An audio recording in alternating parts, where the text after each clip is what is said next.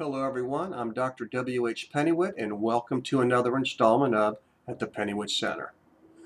The truth is always the best policy, or so they say. There may be things about yourself that you don't want anybody else to know about, and we all have that. But what about yourself? Could you possibly be hiding from yourself?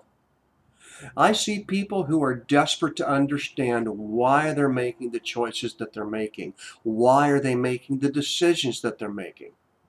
What I mean is this. Maybe you might be at the end of a relationship. Maybe you might be at the end of a marriage and divorce and you're single. And you keep telling yourself over and over, it wasn't my fault. But could it possibly have been your fault? Now, I'm not trying to make anybody feel bad, and I'm certainly not trying to condemn you. But I want you to know that there are reasons why we keep making the same decisions over and over again. And I want to show you why you make these decisions. And they're simply based on temperament need. Knowing what your temperament is will tell you why you're making the decisions you make. Now, some of these decisions may be good decisions, some of them may get you into trouble.